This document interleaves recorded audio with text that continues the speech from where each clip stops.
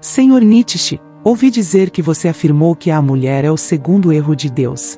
Como pode fazer uma afirmação tão contundente sobre as mulheres? Minha querida, quando usei essa frase, estava me referindo a uma crítica profunda à tradição e à visão de mundo que tem sido imposta às mulheres ao longo da história. Não é uma afirmação literal sobre a natureza das mulheres, mas sim uma crítica à forma como foram historicamente subjugadas e restringidas por sistemas de valores que as colocavam em um papel secundário. Então, você está dizendo que as mulheres não são um erro de Deus? Absolutamente não.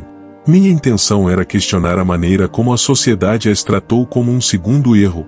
Acredito que as mulheres, como os homens, têm a capacidade de afirmar sua individualidade e potencial, Devemos nos esforçar para superar as limitações impostas por conceitos antiquados e permitir que todas as pessoas alcancem seu pleno desenvolvimento.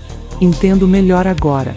É importante questionar as normas e preconceitos que têm sido impostos às mulheres ao longo da história. Obrigada por esclarecer. Você está mais do que bem-vinda. Sempre é bom questionar e buscar uma compreensão mais profunda das questões que nos cercam. A busca pelo conhecimento e pela igualdade é essencial para uma sociedade mais justa e equitativa.